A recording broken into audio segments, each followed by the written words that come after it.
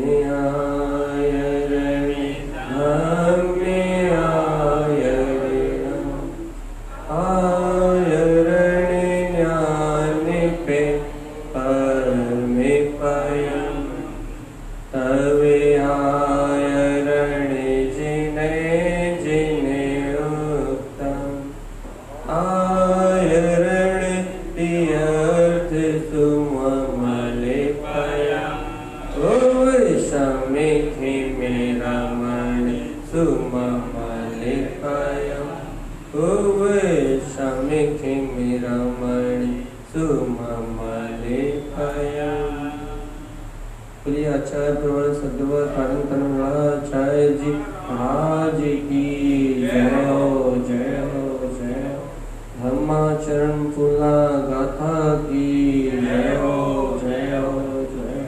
दस लक्षण महापर्वादि राज की जय हो, जय। आत्म उत्साह के पर काय के पर भैया, गाने के बजाने के नाचने के। आत्म उत्साह के पर जिन, जिस घड़ी में जीव को अपनी आत्मा के प्रति उत्साह आता है क्यों आता है उत्साह? कि वो अपने अंतर में छुपे हुए गुणों को जानता है। कि उस- उसके अंतर में, उसके हृदय में उत्तम क्षमा है उसके हृदय में मार्धव है उसके हृदय में उत्तम आर्जव धर्म है। जब ये जीव अपने अंतर के गुणों को जानता है तो उन गुणों को जानने का उत्साह आता है। अच्छा बताओ गुणों को जानने का उत्साह क्यों आता है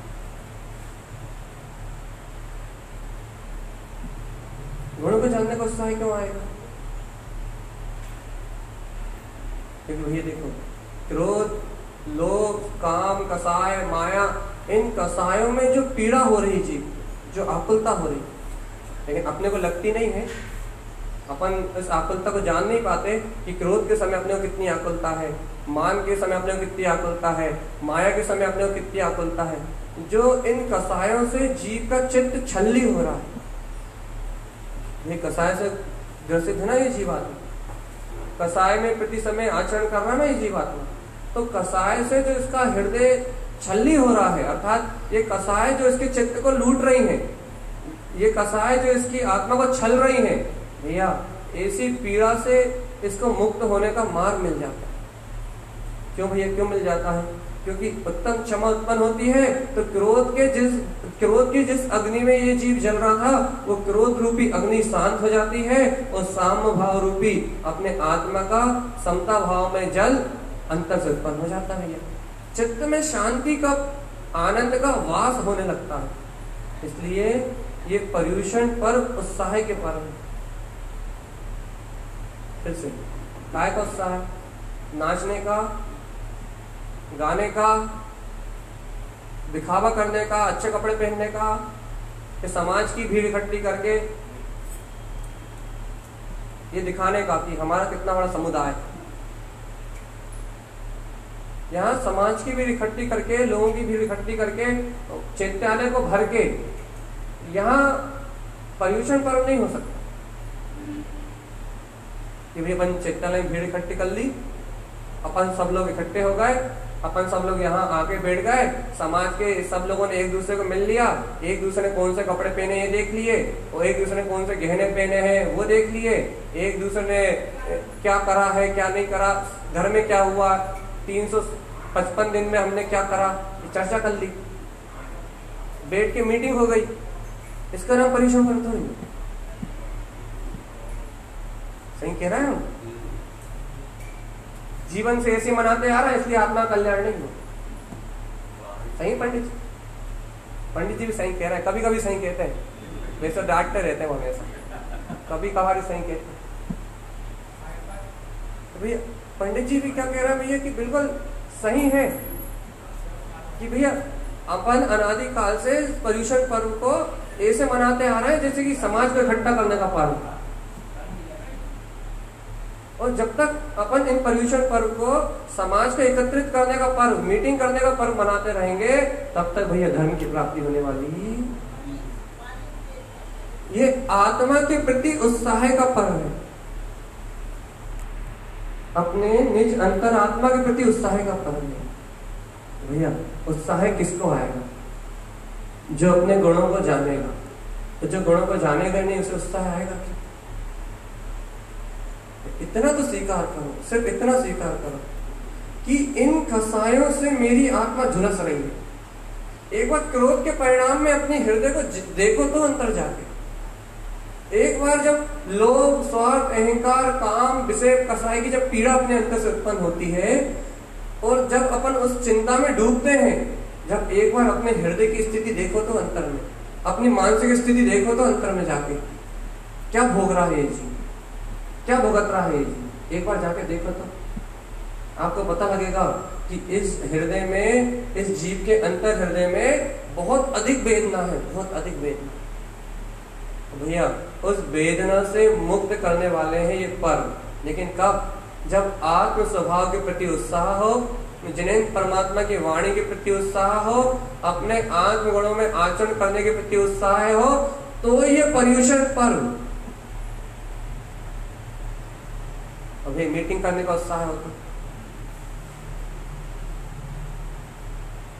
तो विचार तो करना पड़ेगा। सम्यक चिंतन तो करना पड़ेगा। जब तक हम विचार नहीं करेंगे, जब तक सम्यक चिंतन नहीं करेंगे तो कुछ भी आत्मसात होने वाला नहीं। विचार करना पड़ेगा, क्योंकि अपने को सम्यक विचार अपने को सही दिशा में लेके जाएँगे। यदि अपन विचार करेंगे, यदि अपन अंतर से विचार करेंगे तो अपने को सही दिशा मिलेगी। और यदि भैया अपन विचार नहीं करें तो? अपने दिशा नहीं मिलेगी। तो अपने को अपनी दिशा प्राप्त करने के लिए, अपने अंतर आत्मा में, अपने अंतर गुणों के प्रति उत्साह जगाने के लिए, ये जिनेन परमात्मा की वाणी हमें जगा रही है। ये दस दिन, ये पर्यूषण पर्व की व्यवस्था इसलिए की गई है, भैया, इन दस दिनों में ये जीव आत्मा अपनी जीवंत, अपने जीने वाले जैवंत स्वभाव को पहचाने। भैया शरीर मुर्दा है, ये तो आप स्वयं कहते हो। लेकिन इसके अंतर में जीने वाला चेतन चेतन स्वरूप परमात्मा है, बस आप उस जीने वाले की शक्ति को नहीं जानते। तो जब तक आप उस जीने वाले की शक्ति को नहीं जानते, तब तक ये चतुर्गति संसार का परिभ्रमण हो रहा आज उत्तम आर्जव धर्म की व्याख्या करनी है। और मैं अपनी मर्ज़ी से नहीं जो गुरुदेव ने कहा वो ही कहेंगे लेकिन क्या आप उसे सुनने के लिए उत्साहित हो? जो आचार्य तारण तरन देव ने आर्जव धर्म कहा है, उत्तम आर्जव। उसकी व्याख्या करेंगे भैया। लेकिन क्या आप ऐसे गुणों के प्रति ललायत हो, उत्साह है आपको सुनने का कि? आचार्य जिन तारण तरन देव ने या आचार्य भगवंतों ने वास्तव में आर्जव धर्म में दिया क्या है? उन्होंने बताया क्या है? भैया छल कपट का व्यवहार आज अपने बच्चा लगता है। ऐसा लगता है कि जैसे दूसरों को छल के हमने कोई बहुत अच्छा काम किया। बहुत खुश होते हैं। ऐसे किसी को बेवकूफ़ बना दो कितना अच्छा लगता है कि हमने उसे कितना अच्छा बेवकूफ़ बनाया। बेडी फूल। कितना अच्छा बेवकूफ़ बनाया। कितना अच्छा उसको, कितना अच्छा उसको बेवकूफ़ बनाया। अच्छा लगता है ना? माया चढ़ी करना अच्छा लगता है छल करना अच्छा लगता है ना? कपट करना अच्छा लगता है ना? कि हमने कपट किया तो हमें धन मिला। अरे गुरुदेव के, यहाँ देखो अपन रोज पढ़ते हैं, कपट ना कीजिए कोई चोरन के पुर यदि चोरी करने वालों के पुर बसते तो भाई धर्मात्मा को क्या होता है? यदि चोरी करने वालों के घड़े भर रहे होते, मायाचारी करने वालों के घड़े भर रहे होते, चोरी करने वालों के घड़े भर रहे होते तो बेचारे पुण्य करने वाले और धर्मात्मा जीवों क्या होता? यदि मायाचारी करने से आत्मा का हित होता तो भैया, उत्तम आर्जव धर्म को कौन स्वीकार करता भैया, अपन उत्तम आर्जव धर्म को सुन रहे हैं, उत्तम आर्जव धर्म की आराधना क्या है? आचार्य तारण देव ने आर्जव धर्म क्या कहा है? इसको स्वीकार करने की बात है। गुरुदेव कहते हैं, आर्जव आयरण। काय में आचरण भैया?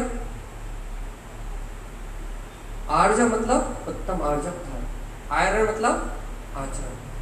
उत्तम आर्जव धर्म में आचरण क्या है? ये गुरुदेव कह रहे हैं। आर्जव आयरण सुचरण रमण चिन्ह। भैया, स्वयं के अंतर में अपना जिनु अंतर आत्मा अर्थात जिनु अंतरात्मा अर्थात अपनी चेतन शक्ति शुद्धात्मा सुचरण रमण जिनु, ऐसे अपने स्वयं के आचरण में रम जाना। इसका नाम उत्तम आर्जव धर्म। सीधी सीधी परिभाषा है। अपन जिस वीतराग सत्य को भूले हुए हैं, अपन जिस वीतराग सत्ता निराकार चेतन में अपने शुद्ध स्वभाव को भूले हुए हैं उस स्वभाव को भूलने के कारण आज मायाचारी प्रकट हो रही है। आज कपट की भावना उत्पन्न हो रही है। और यदि अपने को अपना निराकार चेतन में स्वभाव स्मरण में आ जाए, अपनी जिनु अंतर आत्मा स्मरण में आ जाए तो गुरुदेव कह रहे भैया आर्जव धर्म में आचरण हो जाएगा, कैसे हो जाएगा? सुचरण रमण जिनु, अपने जिनु अंतर आत्मा में आचरण करना ही उत्तम आर्जव धर्म में आचरण करना तो भैया, उत्तम आर्जव धर्म कोई कठिन बात नहीं है। माइक सेट करना स्पीकर कम करना, उसका बेस कम करना, और इको ऊपर से इको हेलो। हेलो। हेलो। हाँ ऊपर से गेन खोल गेन गेन सबसे ऊपर वाला। हेलो। हेलो, ठीक। गुरुदेव कह रहे हैं कि उत्तम आर्जव अर्थात अपने जिनु अंतरात्मा में आर्जव जब तक ये जीव अपने अंतर हृदय में, अपने जिनु स्वभाव में, अपनी वीतराग सत्ता में, अपने अंतर में, विद्यमान, अपनी चेतन सत्ता में आचरण नहीं करता, अर्थात इसे अपने स्व तत्व के प्रति उत्साह नहीं आता, तब तक ये जीव मायाचारी से नहीं छूट सकता। अच्छा बता, अपन मायाचारी क्यों करते हैं? और किसके साथ करते हैं? अपने को ऐसा लगता है कि अपन मायाचारी दूसरों के साथ करते हैं। भैया, एक तरफ़ दूसरे तरफ़ का कुछ कर सकता? सामने वाले की जो हानि हो रही है, वो उसका पाप का उदय है। या आपको सामने वाला यदि कुछ अधिक, आप यदि ले ले रहे हो, मान लो आप मायाचारी करके यदि किसी को छल रहे हो, आपको ऐसा लग रहा है कि भैया, हमने इससे मायाचारी करके ज़्यादा धन ले लिया। भैया, वो आपकी मायाचारी करने से नहीं आया। आपके पुण्य उदय से वो धन आपके पास आया। बताओ मायाचारी से आया या उदय से आया? मान लो दो भाइयों के बीच में लड़ झगड़ा हुआ। एक भाई ने थोड़ा दिमाग ज़्यादा चला के प्रॉपर्टी में हिस्सा ज़्यादा ले लिया। तो ये बता वो उसके छल से उसको हिस्सा ज़्यादा मिला है या उसके पुण्य से उसका हिस्सा ज़्यादा मिला छल करने से उसकी संपदा बड़ी है या पुण्य के वजह से बड़ी है? बताओ जल्दी कैसे बड़ी है? पुण्य की वजह से है लेकिन फिर सोचते क्या है? हमने कितनी होशियारी दिखाई। हम कितने समझदार थे। हमने कितनी मायाचारी के परिणाम करे। हमने कितने कपट के परिणाम करे।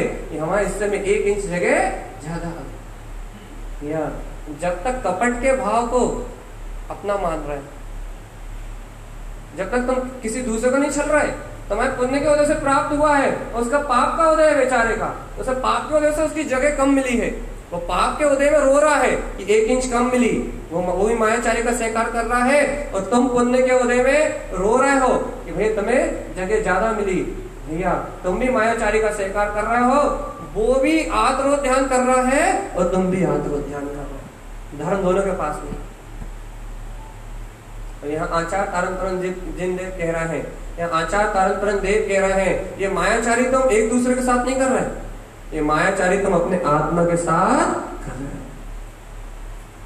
क्यों क्यों क्यों मायाचारी कर रहे क्योंकि इस छल कपट के परिणामों में तुम इतने उलझे हुए हो, इन छल कपट रूप मायाचारी के विचारों में तुम इतने उलझे हुए हो, इस मायाचारी के संस्कारों में इतने सर के लेके पाँव तक पूरे ऐसे डूबे हुए हो, इस मायाचारी के छल कपट के परिणाम के कारण से तुम्हें अपने चेतन में ध्रुव स्वभाव का बोध भी उत्पन्न नहीं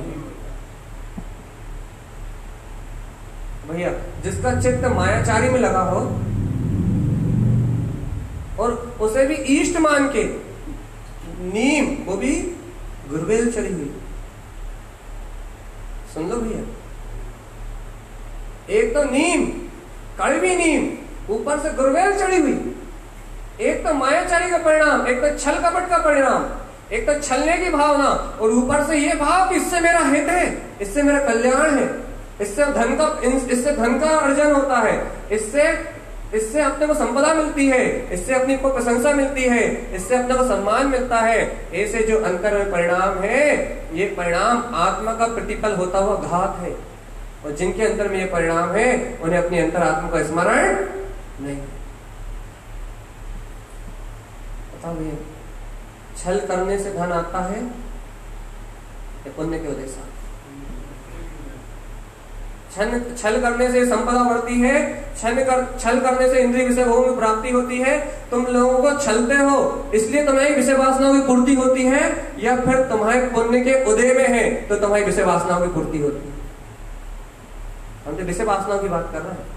स्पर्श रसना ग्रहण चक्षु, कर्ण, इन पाँच इंद्रियों के विषयों से जो काम, भोग, प्रतीक समय ये जीव कर रहा है। वो काम, भोग कैसे उत्पन्न हो रहा है? पुण्य के वजह से? फिर से अब्रह्म आदि का सेवन, विषय वासनाओं का सेवन, धन, कंचन, कामनी, कीर्ति, ये सारे जो भोग इस शरीर को प्राप्त हो रहे हैं, जो ये सारे भोग इस मन को प्राप्त हो रहे हैं, ये पुण्य के वजह से हो रहे हैं मायाचारी के वजह से? पक्का? सौ परसेंट? मतलब जितना भी यदि पंखे की हवा भी मिल रही है एसी की एयर कंडीशन की हवा भी मिल रही है, या भैया आपको कुछ भी मिल रहा है तो भैया वो सब कुछ पुण्य की वजह से मिल रहा है। आपने पूर्व में बोया है तो वर्तमान में आप काट रहे हो। पक्का? नहीं, फिर मायाचारी क्यों करते हो बता तो जरा मुझे।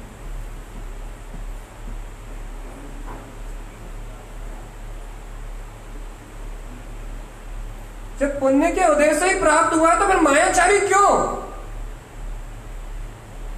और यदि ये मायाचारी यदि अभी भी आप कर रहे हो, यदि छल की प्रवृत्ति कर रहा हो तो बताओ, छल कपट करने से पाप बढ़ेगा या पुण्य? पाप बढ़ेगा तो संपत्ति घटेगी, बढ़ेगी। भोग पड़ेंगे, घटेंगे।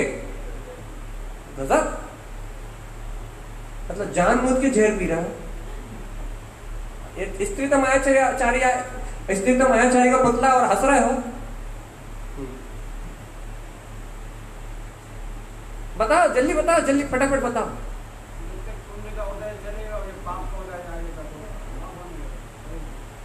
अरे, जिस समय आप मायाचारी के संस्कार को जन्म दे रहे हो, उसी समय जो आपका पुण्य है, उसी समय छीण होना, उसी समय तत्काल जो आपका भोग सौ गुना होना चाहिए था, वो मात्र दो परसेंट रह रहा है बस।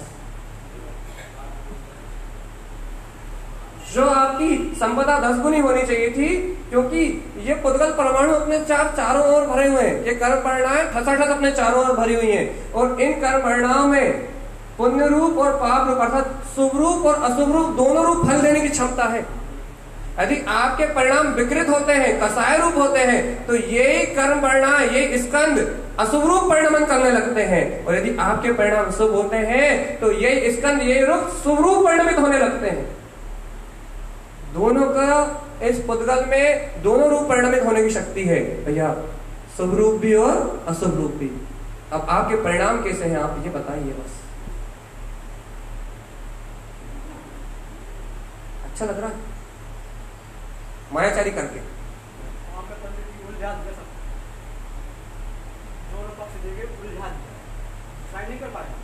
नहीं कर पाएगा सही।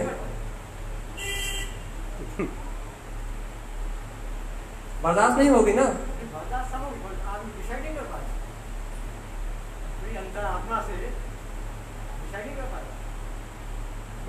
क्योंकि भैया आत्मा की रुचि हो तो डिसाइड कर पाए। हाँ यदि आज अब धर्म को ग्रहण करने का भाव हो तो निर्णय ले पाए कोई निर्णय पे पहुँचे कि भैया सरल रहना सहज रहना अपने अंतर आत्मा का स्मरण करना इससे अच्छा कोई इंद्रिय भोगों को प्राप्त करने का कोई दूसरा माध्यम नहीं है। बाहर में संपदा को प्राप्त करने का इससे अच्छा कोई माध्यम माध्यम नहीं है कि अपने परिणाम सरल हो। इससे अच्छा कोई माध्यम नहीं है। लेकिन भैया, गंगा उल्टी बह रही है। इस कलयुग में गंगा उल्टी बह रही है। दिशा बिल्कुल विपरीत हो रही है। जिससे पुण्य क्षीण होता है। जिस मायाचारी से पाप का उदय बढ़ता है, जिस मायाचारी से धन संपदा घटते हैं, जिस कपट और छल से धन संपदा तो क्या अपनी अंतर आत्मा का प्रतिपल घात होता है? भैया, उसको आज ये चीज़ ईष्ट मान रहा है कि छल नहीं करो तो व्यापार कैसे चलेगा? सही है, यही धारणा बन गई है। छल नहीं करो तो यदि व्यापारी छले ना तो काम कैसे चलेगा? अरे, एक बार सरल हो गए तो देखो। आज एक है, कल दो हो जाएँगी दुकान। लेकिन भैया, कोई सत्य को स्वीकार करने तैयार? सुनने में तो अच्छा लगता है वस्तु स्वरूप जिन भगवान की वाणी सुन रहा है तो अच्छी लग रही है। लेकिन यदि तुम्हें अंतर आत्मा इस सत्य को स्वीकार कर ले तो इसी भाव में तुम्हारा बेड़ा पार हो जाए। इसी भाव में आत्मा का कल्याण हो जाए भगवान। अरे, यदि मायाचारी करने से, यदि चोरों के घर बहु संपदा होती तो भैया, आज चक्रवर्ती नारायण तुम्हारे दास नहीं होते। आज ये बड़े बड़े पदों में तुम नहीं बैठे होते। भैया कपट करने से आज तक किसी का हित चोरन के पुर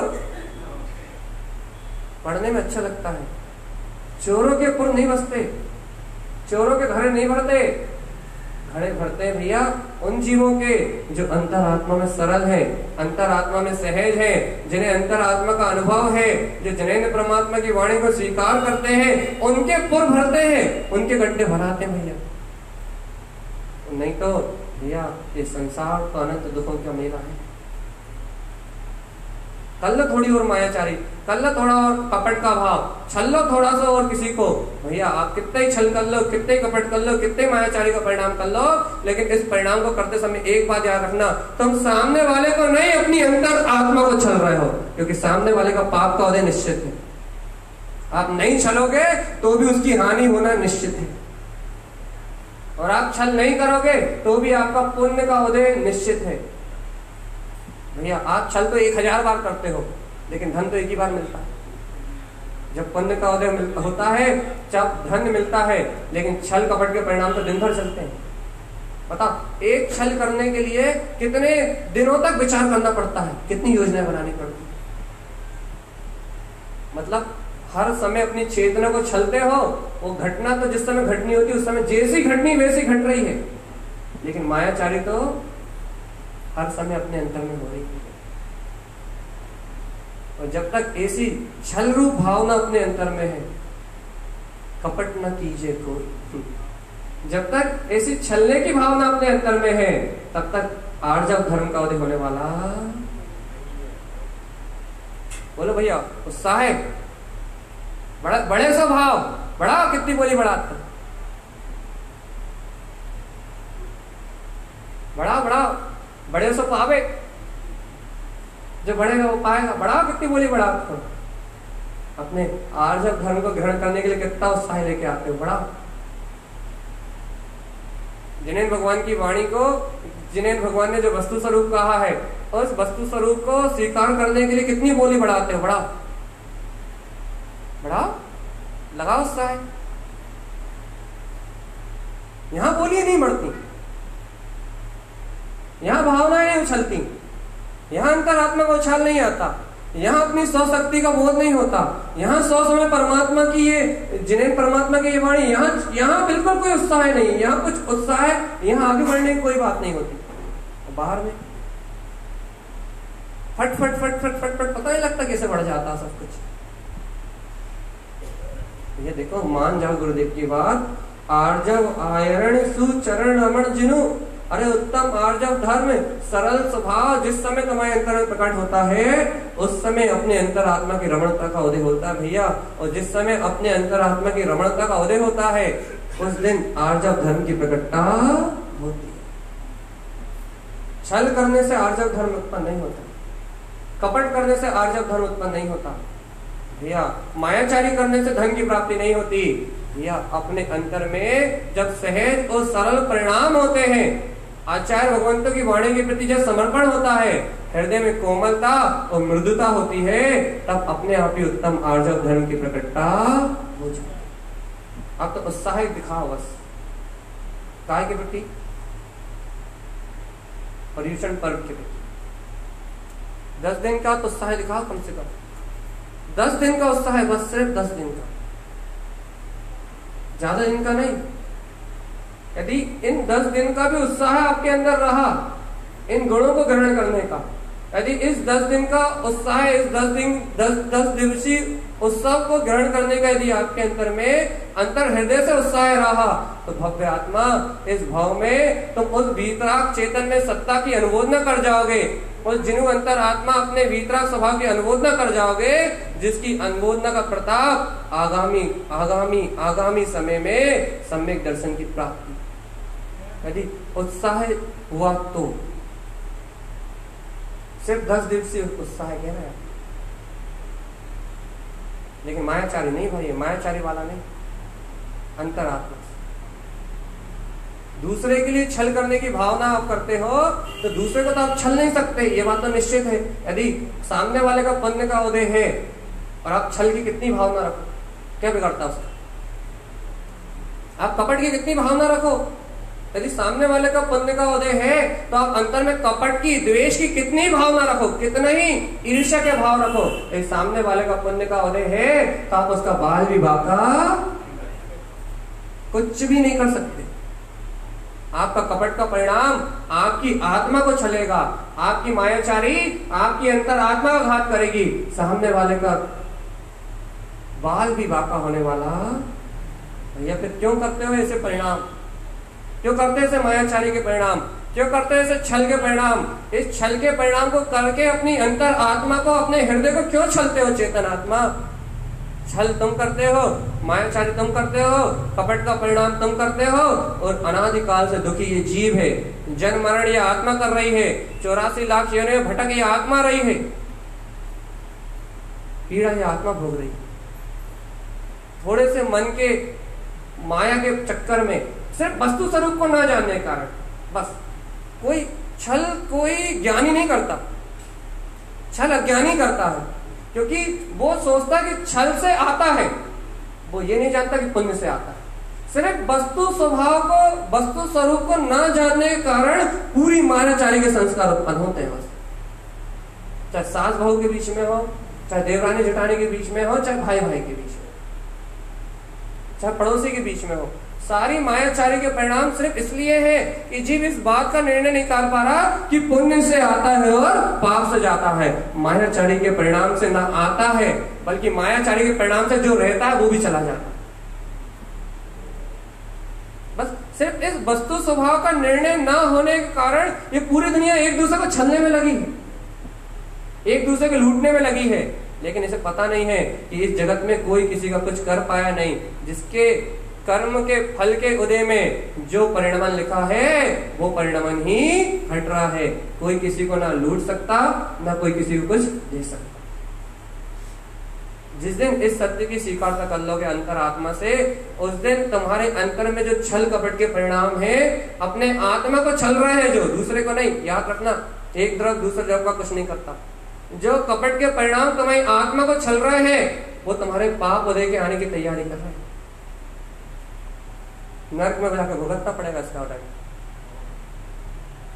या, इसलिए यहाँ कह रहे हैं कि चोरों के पुर नहीं बसते। चोरों के घर बहु धन संपदा नहीं होती। तो भैया, किसके घर होती है?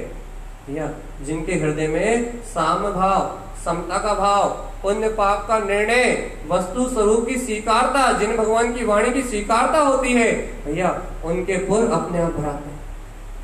उनके यहाँ संपदा अपने आप आती है, उनके यहाँ लक्ष्मी वास करती है। या लक्ष्मी का सूचक क्या है? श्रीम चारित्र। जहाँ चैतन्य अपने, जहाँ आत्मा अपने स्व स्वभाव के बहुमान को प्रकट करता है तो भैया, जहाँ मोक्ष लक्ष्मी आती है, वहाँ जड़ लक्ष्मी तो ढेर लगती है, पाँव के नीचे पड़ी फेंकती है। जहाँ मोक्ष लक्ष्मी मोक्ष रूपी लक्ष्मी, मुक्ति रूपी लक्ष्मी का अंतर आत्मा में जीव को बोध होता है, वहीं धन, संपत्ति, हीरे, माणिक, मोती, पुखराज, ये तो पाँव के नीचे की धूल बन जाते हैं भगवान। या आर्जव धर्म को ग्रहण करके इन धन संपदा, इस धन संपदा को पाँव के नीचे रखो, इस सर के ऊपर बिठाओगे तो मायाचारी का भूत चढ़ेगा। हम छोड़ने नहीं कह रहे। आप फिर बिल्कुल सतर्क होके, बिल्कुल सावधान होके सुनो। छोड़ने नहीं कह रहे। हम कह रहे हैं, इस माया को सर पे मत बिठाओ, इस माया को बाहर पैर के नीचे रखो। इसकी आरती मत उठा रो इसे चरणों से रोनते हुए निकल जाओ।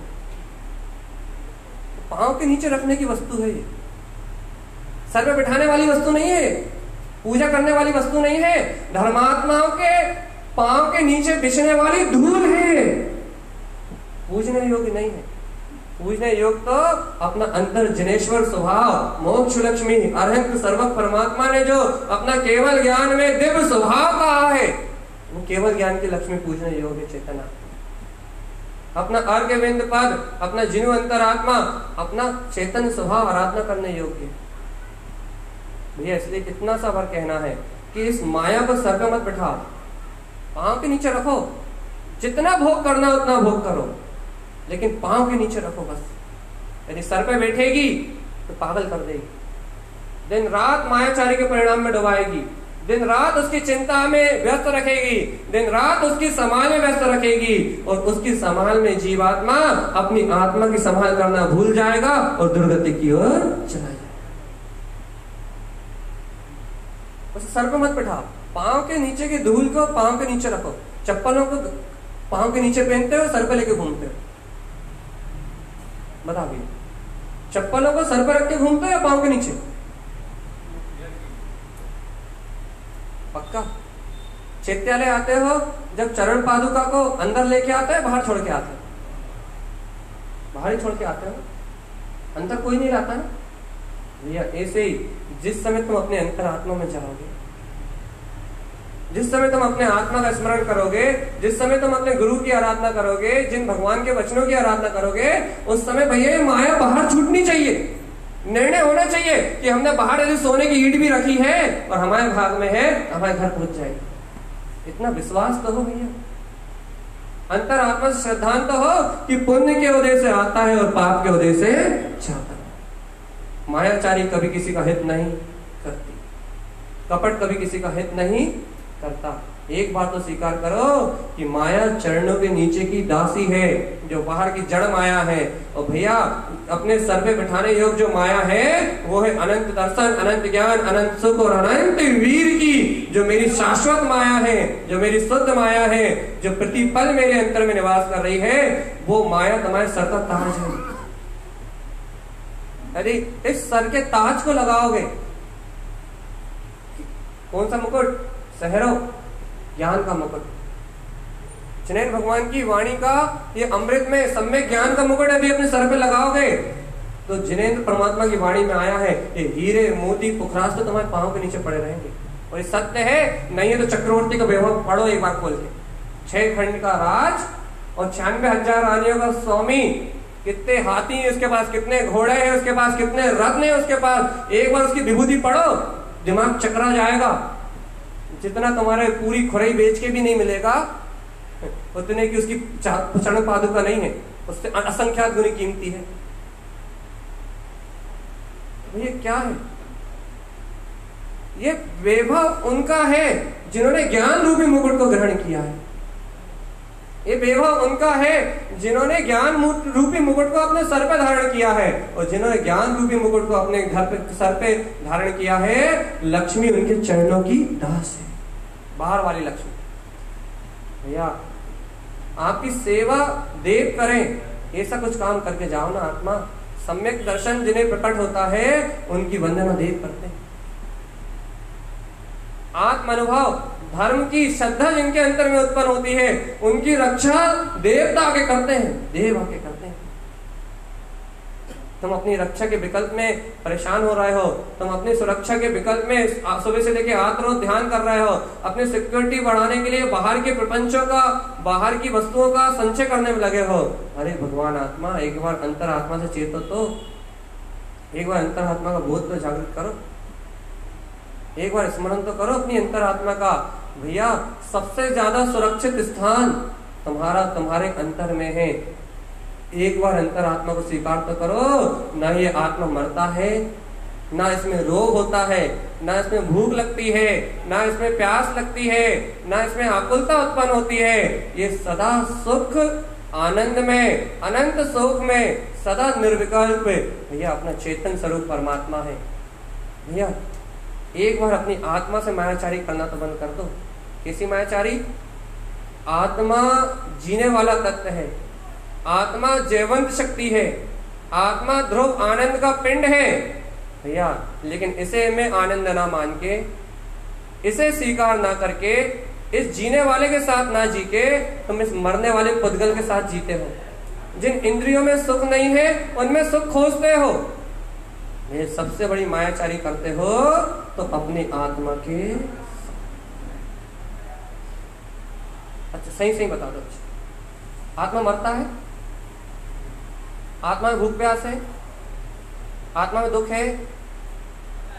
नहीं। आत्मा में अतीन्द्रिय आनंद है या नहीं? अनंत सुख है? भैया, सुख का कंद आत्मा। अजर अमर शक्ति आत्मा। जीने वाला जैवंत स्वभाव आत्मा। और तुम जीवन काय में मान रहे हो? सुख काय में मान रहे हो? शांति काय में मान रहा है, शरीर में, इंद्रियों में विषय भावों में। अच्छा मायाचारी किसके साथ कर रहे हो? अपने साथ कर रहे हैं ना भैया? बस, अपने साथ होने वाली मायाचारी छूट जाए, तुम पूरी दुनिया को लूटने चले जाओ, मुझे कोई दिक्कत नहीं। तुम पूरी दुनिया को लूटने चले जाओ, कोई दिक्कत नहीं है। पूरी दुनिया को लूटने के लिए तुम निकल जाओ, कोई दिक्कत नहीं है। लेकिन एक बात यह भैया, कि तुम किसी को लूट नहीं सकते, क्योंकि जो तुम्हारे भाग में वो तुम्हें मिलेगा। इसका प्रमाण, भैया, जब चक्रवर्ती युद्ध करने निकलते हैं, अपने चक्र रत्न को लेके, एक बूंद रक्त की नहीं गिरती, एक बूंद। और सम्राट के सम्राट, सुन लो भैया छोटे मोटे नहीं, छत्री जो किसी के सामने झुकते नहीं है। छत्री किसी की गुलामी स्वीकार नहीं करता। छत्री किसी के सामने झुकता नहीं है। वो चक्र रत्न की ऐसी ऐसी ऐसी धर्म चक्र की, चक्र रत्न की ऐसी शोभा होती है, ऐसी शोभा होती कि छत्री छत्री कुल के सम्राट अपना अपना समर्पण कर देते हैं कि आप आप चक्रवर्ती, आपका पुण्य वैभव अधिक है, आपके पुण्य के योग अधिक है, सब उनके सामने समर्पण कर देते हैं। बिना एक रक्त की बूंद गिराए छह खंड को जीत के आता है। बिना एक रक्त की बूंद गिराए छह खंड को जीत के आता है। सम्राट भी जिसके सामने नतमस्तक होते हैं। छत्री जो किसी के आगे नहीं झुकते। भैया, जब पुण्य का प्रताप चलता है तो भैया, बिना कुछ करे सब कुछ अपने आप मिल जाता है। अपन तो करने करने में पागल है। करने करने में पागल है। मायाचारी करके अपनी आत्मा को छलने में पागल है। लेकिन अपने को जिनेन्द्र भगवान के सिद्धांत, ये पथमान योग, ये इंद्र धरेन्द्र आदि की चर्चा, ये अपने को सिखा रही है कि भैया, जिन्होंने धर्म को अंगीकार किया, उनके पास तो वो सब पहले से था, जिसकी कामना में तो मर रहा है। जिन्होंने अपनी अंतर आत्मा को स्वीकार किया, जिन्होंने अपने अंतर में अपने सरल परिणामों को ग्रहण किया, उनके पास तो वो पहले से सब कुछ था, जिसके लिए तुम आज परेशान हो रहे हैं। तो भैया, आज जो तुम्हारे पास है, वो भी तुम्हारे पुण्य के से ही है ना? यदि कम है तो पाप के वजह से। यदि ज़्यादा है पुण्य के से। तो भैया, जब पुण्य पाप से मिला है तो फिर मायाचारी क्यों? आज अपनी आत्मा से कपट करना छोड़ दो भगवान। मैं आपसे कुछ भी दान करने नहीं कह रहा भाई, मायाचारी करना छोड़ दो, क्या करें? हम अपनी माया को मंदिर में रख जाए? नहीं। आप मत रख के जाओ। आप अपनी माया का भोग खुद करो, क्यों? क्योंकि आपके भोग में है, आप दान कर दोगे तो फिर बन जाएगी, फिर मिलेगी। छूटनी तो है ही नहीं। इस हाथ से दोगे, इस हाथ से फिर आ जाएगी। हाँ सही कह रहे हैं। यदि आप मंदिर में देख के भी चले जाओगे तो बाहर निकल के फिर आ जाएगी वो। क्योंकि आपके पुण्य के भोग में है तो उसे कोई छीन सकता इसलिए भैया, हम आपसे दान देने की बात बिल्कुल नहीं कर रहे हैं। हम तो आपसे ये कह रहे हैं कि अपनी अंतर आत्मा के साथ जो छल हो रहा है, अपनी अंतर आत्मा के साथ जो कपट हो रहा है, अपने ही साथ जो अपन अनाचार कर रहे हैं, अपने ही साथ आज अपन जो दुष्टता का व्यवहार कर रहे हैं, अपनी अंतर आत्मा के साथ वो दुष्टता का व्यवहार छूट जाएगा और कुछ भी नहीं। ना आपसे कोई क्रिया बदलने कह रहा है, ना आपसे कोई भी बाहर की व्यवस्था को बदलने कह रहा है। आप अपने साथ जो मायाचारी का परिणाम कर रहे हो आपको बस अपने साथ, दूसरे के साथ नहीं, क्योंकि दूसरे का आप कुछ कर नहीं सकते। आप अपने साथ जो मायाचारी कर रहे हो, आप उस मायाचारी के भाव को बदल दो बस। ये क्या करते हैं? इतना सा स्वीकार कर लो कि आत्मा में अनंत सुख है।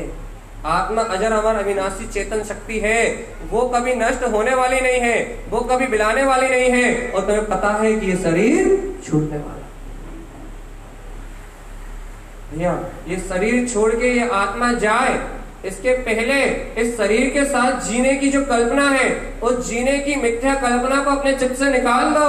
और जो जीने वाला चैतन्य तत्व परमात्मा है, जो जयवंत शक्ति स्वरूप है, उसके साथ जीने का अंतर आत्मा का भाव, सरल परिणाम, सहज परिणाम एक बार अंतर से उत्पन्न कर लो कि भैया जीने वाला तो मेरा निज आनंद का नाथ, चेतन तत्व भगवान आत्मा ही। स्वीकार? मैंने क्या कहा था भैया? सिर्फ़ दस दिन उत्साह दिखा दो आप पास अरे, दस दिन में यदि आपने इस सत्य को उत्साह पूर्वक स्वीकार कर लिया तो ये मैं स्टाम्प पेपर पे लिख के दे रहा हूँ। इस अनुबोधना के फल से दोबारा मनुष्य गति की प्राप्ति निश्चित ही है। सिर्फ़ आप दस दिन उत्साह दिखा दो अपने गुणों के प्रति। आप सिर्फ़ दस दिन उत्साह दिखा दो जिन्हें परमात्मा की जुआणी के प्रति। आप सिर्फ़ दस दिन उत्साह दिखा दो कि आचार्य भगवंतों ने जो कहा है, उस सत्य को मुझे स्वीकार करना। सिर्फ़ दस दिन का उत्साह भैया, आपका जीवन भर शांति, आपको जीवन भर शांति मिलेगी, जीवन भर शांति मिलेगी। अच्छा आप खुद बताओ। मायाचारी करके आपने ये तो सोच लिया कि आप सामने वाले को छल रहे हो, लेकिन जितनी देर मायाचारी के परिणाम चल रहे हैं, उतनी देर कुड़ कौन रहा है? ये बताओ। उतनी कौन कोड़ रहा है देर किसको पीड़ा हो रही है। जब सामने वाले की हानि होगी, वो तो उसके पाप के उदय से होगी। लेकिन जब तक हानि करने का द्वेष परिणाम तुम्हारे अंतर में चल रहा है, उतने समय कौन पीड़ित हो रहा है, ये बता दो बस। अग्नि में हाथ डालो। हाथ किसका जल रहा है? जितने समय वो पूर्ण परिणाम चल रहे हैं, जितने समय वो विकृत परिणाम चल रहे हैं, जितने समय वो आत्म ध्यान चल रहा है, उतने समय तुम्हारे चित्त की शांति भंग है। ये सो रहा हो डल्लभ के गद्दे पे, चल रही एसी। बाहर में चल रही है एसी, सो रहा हो बढ़िया अपने बढ़िया स्टैंडर्ड से आप बिल्कुल मतलब एकदम कोमल गद्दे, नरम गद्दे पे, है ना? और अंतर में चल रहा है, इतनी कठोरता इतनी कठोरता कि ना उस एसी के आनंद का आनंद आ रहा है, ना उस गद्दे में जो अपन सो रहे हैं, ना उसकी कोमलता का आनंद आ रहा है। पता लग रहा है कि आनंद कहा तो चूल्हे में।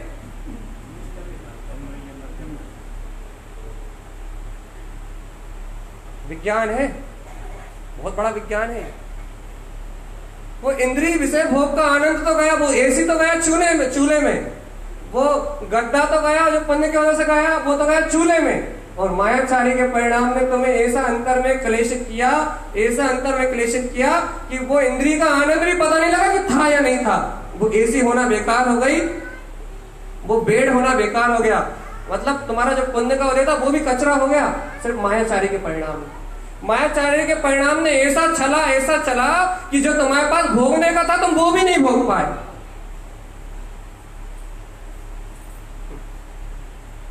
इसे कहते हैं विज्ञान। ये जैन विज्ञान है भैया। आपके पास जो सुख था आप उसे नहीं भोग पाए। आगामी सुख की चिंता में इतने पागल हुए, मायाचारी के परिणाम में इतने पागल हुए, इतने पागल हुए कि वर्तमान में भूल ही गए कि हमारे पास कितने ऐश है। हमारे पास कितने आराम है। हमारे पास कितनी शांति है। हमारे पास कितने पर्याप्त भोग है। उस पर्याप्त भोगों को सुख लेना भूल गए। आगामी सुखों की कामना में इतने पागल हुए, इतने पागल हुए, इतने पागल हुए कि वर्तमान में जो आराम था, उसको भूल गए भगवान। भविष्य में तो भुगतोगे भगवान, वर्तमान में भुगत रहे। इसलिए कहते हैं, भैया, छल करने से किसी को शांति नहीं मिलती, बल्कि जो शांति है, जो भोग है, वो भी नष्ट हो जाते आज तो सीखा? अरे गजब। तो ये पंडित जी पूरी तरह स्वीकार कर रहे हैं। मतलब हमारी बात सत्य है। आप कर रहे नहीं कर रहे भैया? देखो भैया, अपने पुण्य को भोगो, एक परसेंट हम नहीं छुड़ा छुड़ा रहे। आपके पास जो है सब बहुत आराम से भोगो, एक रुपए का दान मत दो। भैया, अपने अंतर आत्मा से मायाचारी मत करो। आराम से सो ना आराम से जब निश्चिंत होकर सोने में आनंद है तो चिंता करके आत्मा को जगाने से क्या फ़ायदा? भैया एक बार चित्त में शांति तो लेके आओ। एक बार मन में शांति तो लेके आओ। इन मायाचार्य के परिणाम से छूटोगे। चित्त में शांति आएगी, अंतर मन में शांति आएगी तो जिनेन परमात्मा की वाणी अपने आप अंतर में घुस जाएगी। अपने आप वस्तु स्वरूप स्वीकार हो जाएगा। अपने आप धर्म का तुम्हारे हृदय में प्रवेश हो जाएगा। भैया, छल कपट के परिणाम बने रहेंगे तो ये बात सुनोगे तो ऊपर से निकल जाएगी। ये बात सुनोगे, ऊपर से निकल जाएगी। यदि वस्तु स्वभाव की स्वीकारता होगी, वस्तु स्वभाव का श्रद्धान होगा तो जैसी जिन्हें परमात्मा की बात है, वैसी अंतर में उतर जाएगी। तो भैया, वस्तु स्वरूप का श्रद्धा नहीं होगा, छल कपट का परिणाम होगा, किसी को छलने का परिणाम होगा तो छलने के परिणाम में वर्तमान सुख को तो खो गई। भविष्य में भी पाप कर्म को बाँध के दुर्गति में चले जाओगे। वर्तमान की भी हानि और भविष्य में भी हानि। अभी भी निर्णय करो, भगवान क्या स्वीकार करते मायाचारी को या आर्जव धर्म को? सरल करो तिहु जोग अपने क्या निर्मल परिणाम करने की बात चल रही है। चलिए बताओ, किसको समर्थन देते हो? उत्तम आर्जव धर्म को या मायाचारी को? एक बार फिर से बताओ भैया। उत्तम आर्जव धर्म को सपोर्ट करते हो जिनवर भगवान की वाणी को सपोर्ट करते हो या अपने अंदर चलने वाली मायाचारी को कूड़ता को कूड़ परिणाम। को याद रखना, दुकान में व्यापार करते करते याद कर लेना भैया छल कपट से बिज़नेस नहीं हो रहा। पुण्य के उद्देश्य हो रहा। छल कपट करने से संपदा नहीं जोड़ रही। पूर्व में इतना अच्छा इतनी अच्छी फ़सल लगा के आए हो कि वर्तमान में सुख पूर्वक काट रहे हो। अब सुख, सब सुख पूर्वक काट ही रहे हो तो उसमें अच्छे से भोग ही कर लो सुखी हो जाओ। मायाचारी करके उस सुख को नष्ट मत करो। उस पीड़ा को नष्ट मत करो। यदि भैया उस सुख में डूब जाओगे, उस सुख को भोग लोगे तो एक दिन पता तो लग जाएगा कि इंद्र सुख आसार है। कम से कम बोध तो हो जाएगा कि भैया जितना चाहिए तो खूब मिल गया। कम से कम संत शांति थोड़ी बहुत आए। थोड़ा मन में शांति का परिणाम तो उत्पन्न हो। भैया, फिर ये जिनेन भगवान की वाणी अंतर हृदय में जाए कि भैया जिनेन भगवान ने कहा है, गुरुदेव कह रहे हैं तारन तरन जिहाज की वाणी में आ रहा है कि भैया, कपट करने से पुर नहीं भरते, मायाचारी करने से आत्मा का हित नहीं होता, बल्कि जिन भगवान की वाणी को स्वीकार करने से समता शांति में बिल्कुल सहज परिणाम रखने में अपने आप ही पुण्य का उदय तो मिलता ही मिलता है, लेकिन अंतरात्मा की शांति भी प्राप्त होती ही है। वर्तमान में भी सुखी हो भविष्य में भी सुखी। परिणामों के संभाल की बात है। और उसके समझ सकते हैं जिसने अपने ध्रुव स्वभाव को स्वीकार किया। जिसने जिनेन भगवान की वाणी ने को स्वीकार किया हो, जिसने धर्म को स्वीकार किया हो, जिसने कपट को पराया कर दिया हो, और आर्जव धर्म को अपना बना लिया हो, उसके जीवन में धर्म का उदय हो जाता भैया, लेकिन जिसने मायाचारी को अपना बना लिया हो, और आर्जव धर्म को दूर कर दिया हो, उसके जीवन में दुख के अलावा कुछ उत्पन्न होने वाला ये सिद्धांत की बातें हैं। मुझे पता है कि इन्हें स्वीकार करना इतना सरल नहीं है। क्यों? क्योंकि इस जीव को संस्कार है मायाचारी करने। क्यों भैया? पचास साल से तो कर ही रहे हैं। जितने जितने साल की उम्र हो गई, उतने साल से तो मायाचारी में डूबे हुए हैं। लेकिन इतने साल नहीं, अनंत काल से जन्म मरण कर रहे हैं तो अनंत काल से मायाचारी करी है बस। अपनी चेतन माया को तो देखा ही नहीं अपनी ध्रुव माया को तो देखा ही नहीं है। बीत रात दिन भर भगवान की वाणी में जो माया प्रकट होती है, उस माया को तो अपने देखा ही नहीं। जीवन भर संसार की माया को देखा भी। इसलिए इस माया मायाचारी करने की आदत है। छूट सकती है। कब जब आप अंतर से उत्साह जागृत करो अपने आर्ज और धर्म को प्रकट करने के लिए।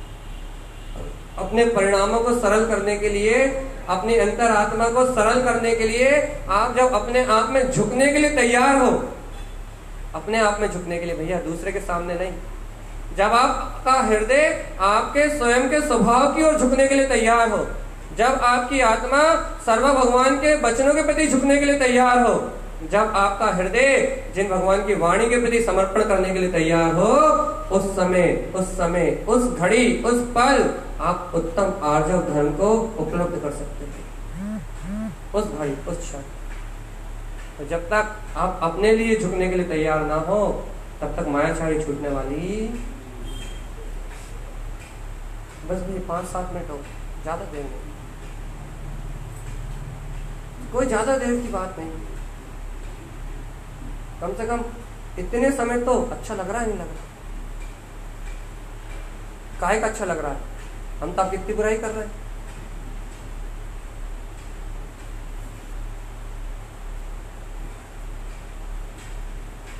किस बात का अच्छा लग रहा है?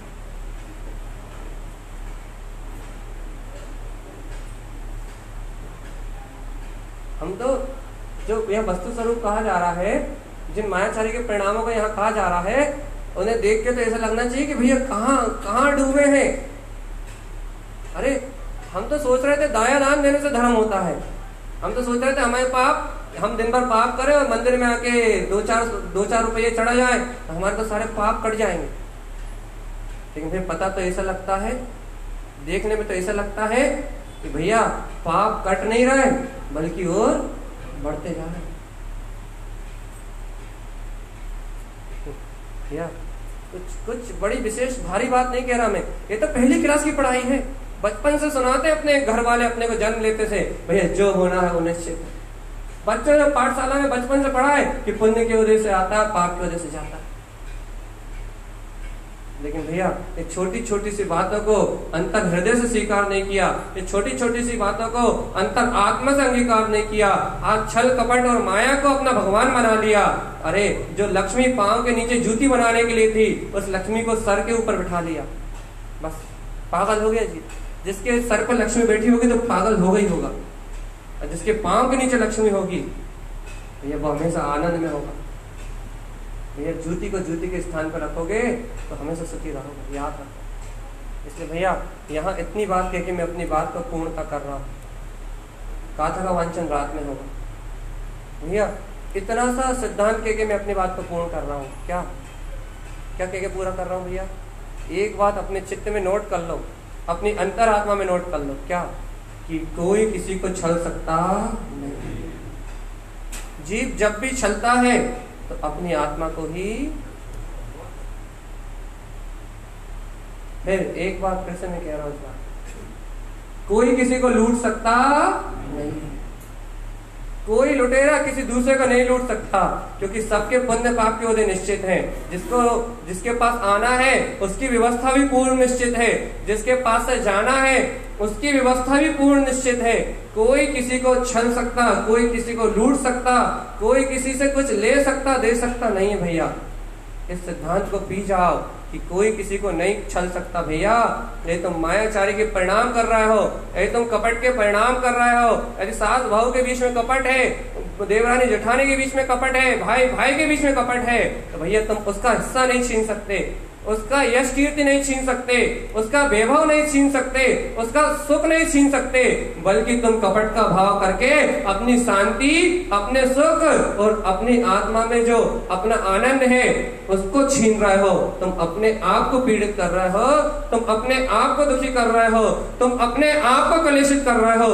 तुम्हारी आत्मा स्वयं अपने परिणाम में धू धू करके जल रही है, और इसका परिणाम आकुलता तो तुम वर्तमान में भोग रहे हो, और भविष्य में भी जब इस कर्म का उदय आएगा तो नर्क की यात्रा में भी इस पीड़ा को ही भोगोगे।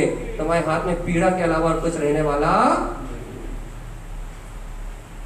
भैया, पीड़ा से मुक्त होना चाहते हो, आकुलता से मुक्त होना चाहते हो, अपने आप को छलना बंद कर। बस भैया, यहाँ जिनेन्द्र भगवान की वाणी में ये वस्तु स्वरूप सिद्धांत सिद्ध होता है हे आत्मा, तू अपने आप को छलना बंद कर दे और सर्वज्ञ जिनेन्द्र परमात्मा जो कह रहा है, अंतर हृदय से कह भैया, कि सर्वज्ञ जिनेन्द्र परमात्मा के वचन सत्य है है, प्रमाण है और मुझे अंतर हृदय से स्वीकार है स्वीकार है और स्वीकार है। बोलिए आचार्य प्रवर सदगुरु तारण तरण आचार्य जी महाराज की जय हो जय हो जय हो। जय नमस्तु।